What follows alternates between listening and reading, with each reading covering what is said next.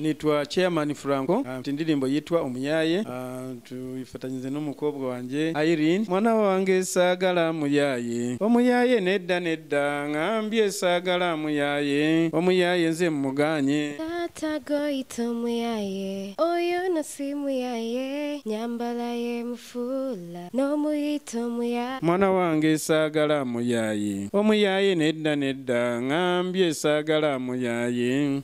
Omuyaye nze muganye taata goyita omuyaye oyo no si muyaye nyambala ah, ye mufuula n'omuyita omuyaye ekyantumye kuririmba n'umukobwa wanjye nabonye ebyo kuririmba nkurikiza ukuntu twaririmbaga mu rugo turi mu ndirimbo zo gusenga n'iki nabonaga afite ijwi ryiza cyane rishobora kuririmba.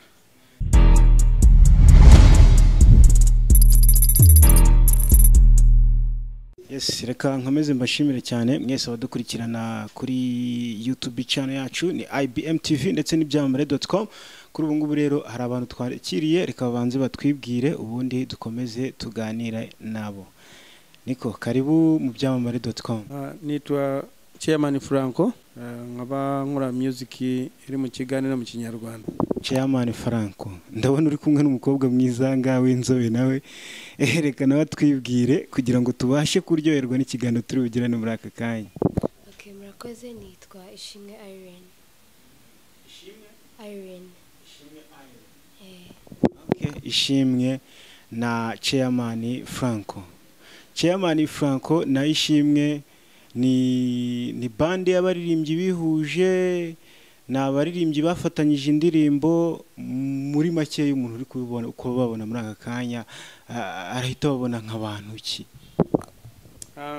Mfite bandi ndi- ntabwo iratangira neza gukora ariko yamaze kuzuza ibyangombwa turi mu kugura ibikoresho yitwa frank felix music ariko mu ndirimbo ubu ngubu mu ndirimbo dukora dukora n'uyu mukobwa wanjye tumaze gukora indirimbo nyinshi eh, ariko ku mashusho dufite indirimbo ebyiri Eh, Okay. Chairman Franco ubu ngubu yicaranye n'umukobwa we. Nari nagize wenda ni nk'umukobwa ugaragara mu mavideo y'indirimbo zawe kuko njye wabashije kuzireba nabonye harimo abakobwa beza cyane. N'uyu nguyu rero namubariye nagize ngo ni umwe muri abo ariko ubwo ari umukobwa wawe ni byiza cyane. Niko ishimwe ni byo ibyo avuze cyangwa ntabwo ari byo ibyo avuze ni byo eh ni papa wanjye kubyara. Ndetse muranaririmbana mwatangiye kuririmbana ryari okay urebye ni umwaka ushize ni bwo twatangiye kuririmba ariko nyine iki gitekerezo cyari gihari cyo kuririmba ariko nagomba kubanza kurangiza amashuri yanjye yisumbuye kugira ngo tutangire kuririmba koze ntabwo twari kuvanga kuririmba n'amashuri biragora cyane bituma umuntu asubira inyuma mu myigire. So niyo mpamvu nabanje kurangiza kwiga kugira ngo tubone gutangira umwuga wo kuririmba. Kuririmbana na papa wawe burabona bitakugora. Oya actually ntabwo bingora ahubwo biramfasha cause kuririmba habamo imbogamizi nyinshi. Rero biba byiza ko aransapota mu bintu byose ntabwo rero bingora. Biranshimisha cyane ahubwo. Waba ufite imyaka ingahe? Mfite imyaka makumyabiri. Imyaka makumyabiri. Reka dusubire kuri chairman franco papa wande wa Irene okay urakoze cyane. Chairman franco wowe ni iki cyatumye ufata icyemezo cyo kugira ngo ujye uririmbana n'umukobwa wawe? Nuko wamubonyemo impano nuko wenda wabonye afite ubwiza burenze ubw'abandi baririmbyikazi ukavuga ati nanjye re- reka mwiyegereze. Ni iki cyaguteye kugira ngo utangire kuririmbana n'umukobwa wawe muri make? Ah, icyantumye kuririmba n'umukobwa wanjye nabonye ibyo kuririmba nkurikiza ukuntu twaririmbaga mu rugo turi mu ndirimbo zo gusenga n'iki nabonaga afite ijwi ryiza cyane rishobora kuririmba. Kandi n'indirimbo ya- yanjye ugiye kuyireba meshaje yayo ndirimbo umuyaye ah, byasabaga kugira ngo nyikorane n'umukobwa wanjye. Meshaje yayo niba nshobora kuyigusobanuramo gakeya usanga rwose igendana n'umukobwa nkurikiza ukuntu nakoze iyo ndirimbo. Omuyaye ni indirimbo ya kangahe wari ushyize hanze ubwo ngubwo? Umuyaye niyo ndirimbo ya mbere nabanze kuririmba. Eh, ariko mfite n'izindi nyinshi zagiye zikurikira muri izi ngizo ni ukubera ko ziri kuri audio ntabwo zidashyira ku mashusho zose ariko ndaganya kuzishyira ku mashusho vuba vuba. Ngewe wabashije kuyireba iyo ndirimbo wise omuyaye nubwo ntazi ikiganda ariko bishobore kuba bivuga wenda niba ari umubeshyi sinzi. Ni ibintu nk'ibyo ahari simbizi. Bivuga ngo iki umuyaye mu kinyarwanda? Eh. umuntu mbese umuntu nyisobanure gute? Umuntu utafite umucyo kiragoye kugisobanura ariko ndi bugerageza kugisobanura kubera umuyaye cyumvikana neza mu kigande ariko umuyaye ntabwo ari umuzura ni umuntu ut- ut- udafite indangagaciro y'umucyo Eh, mbese umuyaye ni umuntu ushobora kwambara nk'uko abyumva ashobora kugenda nk'uko abyumva ashobora gukora ikintu icyo ari cyo cyose nk'uko acyumva we- we kubera indangagaciro y'umucyo ntayaba afite ariko birashoboka isaha n'isaha umuyaye guhindura indanga- indangagaciro y'umucyo agasubira mu mucyo mwiza. Eh, ngewe wabashije kuyireba mu mashusho yayo nabonye harimo aho unywa eh, amatabi. Niba narebye neza bishobora kuba ari n'urumogi ego. Hari aho unywa bari kubona witeretse amayoga. Eh, ntabwo ari wowe ubinywa ok. Icyo nashaka kubaza aho ngaho wenda kuko njye nabashije kubona ayo mashusho ni iyihe mesaje mwashaka gutambutsa muri iriya ndirimbo we n'umukobwa wawe? Ah, message nashaka gutambutsa muri iyo ndirimbo yanjye urabona hari igihe abasore cyangwa abantu ntabwo ari ukuvuga abasore gusa n'abantu bakuze hari igihe ushobora kumubona tufite nk'umuntu ufite amaduredi ah, ufite za zindi panaro zaze muri iyi minsi abakobwa barazamura izi ngizi zikase hano ngira ngo niyo wabona muri iya ndirimbo uramubona umuyaye niyo icyo twashatse kuvuga. Ubu rero urabona uriya uyu mukobwa wanjye mu gukina iyo ndirimbo ah, yazanye wa muhungu wa musore amuzana mu rugo riba yirebye neza yasanze nicaye aho ngaho nibereye aho ngaho aramuzana mu rugo. Ariko inamubonye imyambarire yonyine yari yambaye ndavuga uyu nguyu ntabwo bishoboka ntabwo yaza mu rugo rwanjye yambaye kuriya nkurikize ingofero yari yambaye imisatsi amanuza amahere- amaherena n'ibintu ukuntu yari yambaye ipantaro zigize rero byabaye ngombwa ko nereka ko ngomba kumwirukana. Urumva? Maze kumwirukana cyagiye ubona bari mu kunywa amatabi n'iki? Yagiye n'umukobwa yicara ahantu atangira kumubwira ukuntu agomba kwifata mu mucyo. Umucyo nyarwanda apana no mu mucyo nyarwanda umucyo wose muri rusange. Amubwira ko kunywa itabi ntabwo ari ibintu byiza cyane ntabwo ari ibintu byiza. N'imyambarire yawe yonyine iransebya ngira ngo urabibonye. Amubwira imyambarire ye ukuntu imusebya n'iki n'iki. We hindura imyambarire yawe windure iminywere yawe ingendo yawe byose bihindure nimujyana mu rugo nzi ko bagomba kukwemera. Icyo yakoze yarabihinduye rwose yambara neza ubwo yafashe inzira agaruka mu rugo agarutse mu rugo ubona kabisa ko ari umuntu muzima ushobora kumwereka n'abantu "Eh, umusore ndamusima neza ubu turamwakira mu rugo bamwumuka impamvu ibyo ngibyo nigeze no kubyibandaho nanjye byose nabinyuzemo. Eh, hari imibereho yageze aho ngaho tuvuge bikurikize n'akazi nakoze hari n'izindi ndirimbo zigenda zibisobanuye akazi nakoze hano. Ah, ko nuza hari abatembere abazunguzayi nkora akazi k'ubuzunguzayi ariko wambonaga muri icyo gihe yabonaga kabisa ntashobora kuhinduka nkamera nk'uko meze. Urumva nkurikize n'akazi nagiye nkora mu ndirimbo nyinshi uzagenda ubibona mu zindi zikurikira ah, imibereho yanjye ukuntu yari imeze ni byo nasingiye kuririmba indirimbo iyo ngiyo iyo umuyaye nereka abantu ko isaha n'isaha umuntu wita umuyaye urumva ashobora kuhinduka. Ukamusanga mu- mu- muri iyi uyu munsi ejo ukamusanga mu rundi rwego. Eh, niyo mpamvu ubona mvuge nk'abantu bagenda nko kwiyamamaza nko mu depite eh, ntabwo bashobora kwemera umuntu ufite maturidi n'iki urumva? Ariko ye yavanyeyo urumva aba- akambara na kositimu ntabwo ushobora kumenya ko ari wa wundi washakaga hariya yambaye imipira n'imyenda igize Eh, imyambarire mbese muri make niyo ushaka kuvuga niyo ushobora kuyireba umuntu ugasanga wowe ukavuga ngo ntabwo ari umuntu muzima bitewe n'ukuntu umubona ariko iyo ahinduye imyambarire n'imyitwarire yose ashobora guhinduka umuntu muzima akaba we kubera muri we aba ari umuntu muzima ariko wowe iyo umubonye ukabona cyane cyane nk'aba bantu bakuze ba kera iyo tubonye b'iki gihe tuba tubona ko bose abantu iyo bambaye gutya imvugo yabo ingendo yabo iriya yanuza tuba tuzi ko nta bwenge bafite kandi ari abantu. Bazima Nicyo- nashaka gusobanura muri iyo. nkuru urakoze cyane. Reka tugaruke kuri uyu mukobwa wawe rero. Buriya se buriya hariya ntabwo wabonaga barimo kukubangamira bakubuza wowe wikundaniye n'umuntu byanga bikunda iyo ukundanye n'umuntu uba warabanje kumureba. None iyo bigeze ku rwego rwo kumushyira ababyeyi cyangwa se kumujyana muri famiye yawe eh, bi- biba bigeze ku yindi ntera. Noneho kugira ngo utware umusore nugera iwanyu papa wawe atangira kubwira ati reka reka. Uyu nguyu simushaka. Buriya wabonaga atari kukubangamira. Oya nyine okay nk'uko wabivuze nyine birabangama nta kuntu baba batwaye n'umukunzi wawe iwanyu bakamwanga. Ariko iyo ubo- iyo ubona impamvu bamwanze ifatika kandi ari ikintu gishoboka guhinduka byashoboka. Nyine wabona niba nkakunda amwegereye ndamubwira arahindura mwewe sinakunda nta kintu byamwanga kuko impamvu cyatumye bamwanga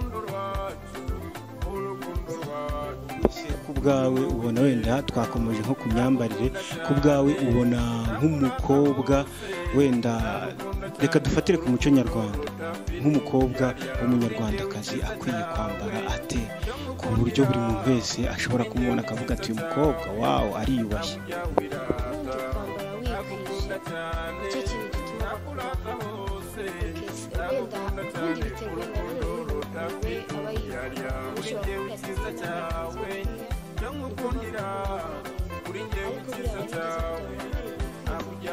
society barakubaha baragutinya. Ntabwo bapfa kugucishamo ijisho kubera ko wambaye neza wikwije ugaragara nk'umukobwa uri classe eh. Tugarutse wenda kuri iriya ndirimbo omuyayi. Eh, wafatanyije na papa wawe. Eh, wowe ku bwawe eh, mesaje mwatangaga ubona yaragize akahe gaciro ubona mesaje mwari mufite hari aho byibuze yabashije kugera cyangwa se urabona hari aho izabasha kugera ikagira n'abo ihindura. Irahari. Icya mbere wenda muri music uru- uru- njyewe kwe- kuri njyewe ku giti cyanjye. Ni gake cyane numvishe umukobwa urimbana na papa we cyane cyane no muri afurika wenda hanze barahari ariko muri afurika ni bakeya. Iyo ni message ya mbere n'ababyeyi wenda n'umubyeyi wenda uba ufite nk'icyo gitekerezo. Ariko akitinya akavuga si ibyo bya- byakumvikana ye ndimbana n'umwana wanjye. So iyo na yo ni imiryango dufunguriye abantu. Ikindi navuga me- message yo irimo kandi ikomeye abahungu b'iki gihe basigaye bumva ko kwambara deshire kwambara zi- nyine nini ariko ariko gutya cyangwa se ko kugaragara neza. Mu by'ukuri ya ni byiza twabyambara wabyambara nka swag eh, ariko hari ahantu biba bisaba ngo uhindure. Nk'uko papa yabivuze ntabwo waba ukora muri parliament ufite dreads upfumuye hari ahantu bigarukira okay ni byiza kubyambara niyo ubyambaye ubona abantu bavuga ngo yewe urakeye urakeye ya uba ukeye ariko hari aho biba bisaba kugira ngo wambare biri decent wambare neza kugira ngo icyo ushaka ukigereho. Ari we na papa wawe ninde wasabye undi kugira ngo baririmbane bwa mbere? Ninde wazanye icyo gitekerezo? Ni papa wakizanye. Akikubwira bwa mbere wabyakiriye. Byakiriye neza cyane byaranunguye mbyakira neza kuko nakundaga kuririmba. Eh, mbikunda cyane ndavuga ati wenda nize nzira nanyuramo kugira ngo nyine mbe umu- mbe umuhanzi. Cyane. Ah, reka tugaruke kuri franco. Franco ah, ubundi mu busanzwe ufite biragaragara nyine yuko uri umupapa kuko uri kumwe n'umukobwa ukuze. Ufite imyaka ingana mfite imyaka mirongo ine n'icyenda ubu ngubu mirongo ine n'icyenda. Kangahe umukobwa wanjye mu bakobwa ni we mukobwa mukuru eh, Eh, eh, ufite n'abahungu bakuze. Mu mu muziki cyangwa se mu bindi bintu by'ubuhanzi cyangwa se wenda ibyo twita iby'ubusitari abantu b'ibyamamare hari ukuntu ababyeyi batabifata neza. Bitewe n'imyitwarire babona kuri bamwe. Kuko burya ngo umukobwa aba umwe ariko agatukisha bose icyo ni ikinyarwanda kizwi na benshi. Eh, nkawe wowe wahisemo kuzana umukobwa wawe kugira ngo muriri- muririmbane? Ubwo byanga birumvikana yuko ni wowe wamwinjije muri ubwo busitari kandi ubwo busitari byanga bikunda azanabugumamo iyo ubirebye wowe ubona nta kibazo biguteye ku, myitwarire dusanzwe tubona kuri ba bahanzi bamwe baba umwe bagatukisha benshi. Ah, rero buri muntu abifata ukwe. Eh, kenshi abantu bafataga abantu b'abahanzi kera ah, tuvuge mu myaka nk'iyi isize mu bihumbi bibiri aho ngaho ubundi abahanzi ukuntu babafataga sinzi ukuntu bari bazi ko umuhanzi ni we muntu utafite nuza mbese ni we umuntu wabuze nk'ibyo gukora. Njye ngiye kubikurikiza hano ukuntu nabyumvaga. Niyo wavugaga ngo umwana wanjye agiye mu bintu by'ubuhanzi cyangwa ukumva ngo nawe agiye mu bintu by'ubuhanzi wabonaga rwose agiye mu bintu by'uburara n'iki n'iki. Ariko mu by'ukuri ngenda agiye gusisoza n'ubu ngubu ngira ngo murabibona neza abahanzi ni abahanga cyane. Biriya bi- kazi ko guhanga ntugire ngo ni akazi koroshye urumva? Rero ni akazi nk'akandi kazi kandi bi- biba ari byiza cyane utanga meshaje ukurikiza ibyo ureba. Urumva? Icyiza cy'ubuhanzi ushobora gutanga meshaje ukurikiza ibyo ureba urumva hari igihe udashobora kubivuga. Hmm? ariko mu buhanzi ushobora kuvuga meshaje yawe iyo uyitondeye ukayikora neza meshaje yawe igatambuka. Ah, rero mu byo kubona ngo kuvuga ngo abahanzi ngo umuntu agire ngo wenda niba nyindi bisobanura gute icyo ngicyo urabona byo kuvuga ngo ah, umuntu ashobora ku- kugenda nijoro akarara iyo ngiyo. Uri bwangirike ahantu hose yangirikiraho Eh, ariko mu by'ukuri mu buhanzi njye nabonye nta kibazo gishobora kubamo kandi numva nta kibazo kirimo. Nkurikize n'abantu um, baririmba ni abantu ubona biyubashe. Yesi niyo cya navuze cy'imyambarire. Iyo umuntu abonye imyambarire y'umuntu yambaye avuga ko uyu nguyu afite izindi gahunda zindi ntabwo ari izo eh, ntabwo ari icyo gikorwa nyi- nyiri- nyirizina arimo. Ariko mu by'ukuri njye ndumva ku buhanzi nta kibazo. Nta kibazo okay mm. niko reka tugaruke kuri Irene. Wowe iyo uririmbana na papa wawe uba wumva nta kibazo biguteye? Eh? ikibazo biba binteye na gitoya. Ya njyewe mba meze neza cyane nta kibazo. Ese ko wiyemeje gufatanya na papa wawe urabona papa wawe hari igihe azasaza kuko akurusha imyaka. Azasaza ave mu muziki dusigare twumva za zindi yakoze. Ubu urateganya byibuze wenda kuba wakora kariyeri solo ukaba waririmba ku giti cyawe? Tuzajya dufatanya ariko hari indirimbo zimwe na zimwe azajya usangamo aririmba wenyine nanjye mfite indirimbo wenyine wenda n'amakolabozi ko na byo turi kubiteganya. Gukora amakolabozi n'abandi bahanzi bo hejuru. Kuri ubu ngubu mumaze gushyira hanze indirimbo zinga indirimbo maze gushyira hanze ni indirimbo icyenda. Zifite amashusho n'izinga zifite amashusho ubu ngubu ni ebyiri. Iyo umuhanzi amaze gukusanya indirimbo ze zimaze kuba nyinshi hari abitegura gukora ibitaramo cyangwa se kuba bazimurika ibyo ngibyo mujya mubiteganya? Ibyo ngibyo byose ndabiteganya cyane. Ubu ngubu uwo tuvugira nakubwiye ngo tumaze gupanga bandi bandi yitwa frank felix music. Ah, tuma- tumaze kugura ibikoresho. Ah, mu minsi iri imbere bya vuba vuba cyane hano turaba dutangiye gukora ibitaramo. Eh, izi ndirimbo zanyu umuntu wenda azishatse ashobora kuzibona he? Okay izi ndirimbo ziri navuga kuri youtube? Ya kuri youtube zirahari ariko izo tumaze gushyiraho ni videos izifite videos zumva ko ari ebyiri izifite audios na zo mu minsi y'imbere turaza kuzishyiraho kugira ngo uzikeneye wese azazibone. Abahanzi benshi iyo baririmba hari abaririmba urukundo hari abaririmba bitaka ndetse hari n'abaririmba politike mwebwe iyo muririmba mwibanda ku ki? Ah, njyewe mu ndirimbo zanjye ugiye kureba ntabwo zibanda kuri politiki na gato. Aha. ni indirimbo ziri mu rukundo. Ah, ni indirimbo ziri mu kwigisha urumva? Ni indirimbo zerekana ibintu umuntu yanyuzemo kera. Eh, ibintu tu- tuvuge nk'ibintu twanyuzemo kera urumva? Zikomeza kandi n'abandi ah, tuvuge zikomeza mu- bantu bakora nk'akazi ku buryo isaha n'isaha nk'uko umusanzu uyu mwaka siko uzamusanga umwaka utaha. Oya. Kandi isaha n'isaha buri kintu cyose ki- kirasohoka kandi buri kintu kigira n'igihe cyacyo. Urumva? Cyagiye bari bakuzimwo kikarangira ugafata ikindi ikindi gihe. Umuntu wakubonye mu myaka isize eh, mu ndirimbo zanjye zitangira mu bihe bya kera no kugeza mu bihe by'uyu ngubu nk'uko muzagenda muzumva. Eh, ndumva ari byiza cyane. Indirimbo mumaze gushyira hanze z'amashusho ni ebyiri. Nta yindi nshya mudufitiye? Ah, i- indi nshangira ngo mu kwezi gutana izaba isohotse. Ukwezi gutaha izaba isohotse.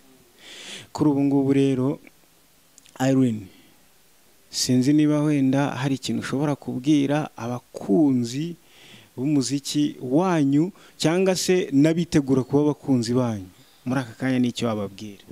Icyo nababwira ni ukudushyigikira cause ntabwo twa- ibi byose twabigeraho batadushyigikiye.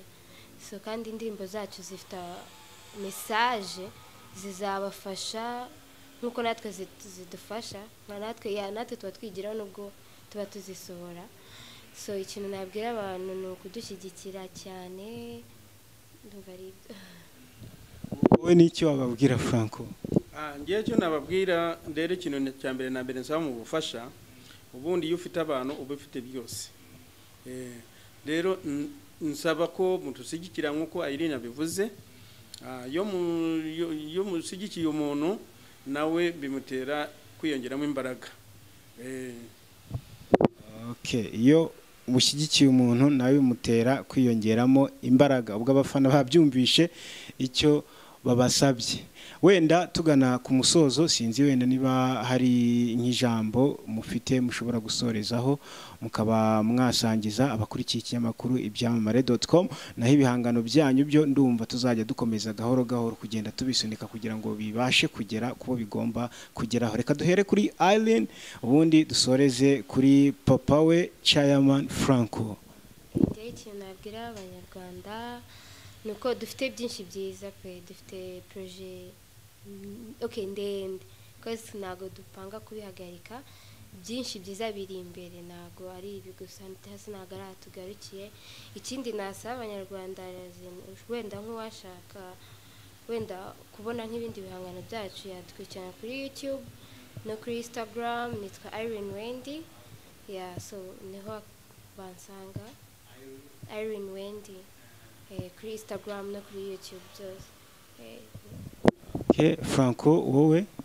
Ah, icyo nsaba cyane cyane ah, ndasaba nk'uko nabisabye ko iyo ufite abafana iyo ufite abantu bafite byose ariko ndi busabe n'abandi kubera ko tugiye gukora bandi dukeneye n'abandi abaterankunga cyane mu bwenge ni cyo cya mbere. Eh, n'abaterankunga mu buryo ubwo ari bwo bwose bushoboka bakaza bakadushyigikira wenda hari n'abahanzi mm, bato ah, mu gahunda zanjye mfite muri bandi ndashaka ko aba bahanzi bato ba- bashobora kuza tugafatanya kugira ngo tuzamuke. Kubera ntabwo nasaba abahanzi bakuru biragoye gufata umuhanzi mu- uku- ukuze mu bihangano kumubwira ngo ngwino utuzamure. Ariko na byo ndabisaba rwose ni abatumva bose abahanzi mwewe abakuze mushobora kuza mukatugira inama. Ariko cyane cyane n'aba bahanzi batoya cyane mushobora kuza tugafatanya tukazamukana rwose kandi ibikoresho byo nizera ko biri tayari Ah, tumaze kubyuzuza ibyinshi. Harabura bike cyane kugira ngo dutangire music rwose ni cyo nsaba abanyarwanda. Ariko nk'uko Irene abivuze indirimbo zacu ah, zi- murazibona kuri YouTube ah, icyo nzi cyo no ku mateleviziyo hamwe namwe ziriwo na Uganda kubera ko nkunze kuririmba mu kigande cyane. Ah, ntabwo ari ukuvuga ngo mu kigande cyane ariko nge nkora mixi ikigande kubera ndakizi n'ikinyarwanda ndakizi. Rero nkora mixi y'indirimbo zombi mu kigande no mu kinyarwanda. Rwose iminsi iri imbere ndizera ko music tuzaba turi ku- tu- turi kure nayo tuzaba tu- tubagezaho byinshi cyane. Muze mutuzikire gusa namwe abaririmbi bato muze tufatanye ikintu tuzamukane. Urakoze cyane cyo mbasaba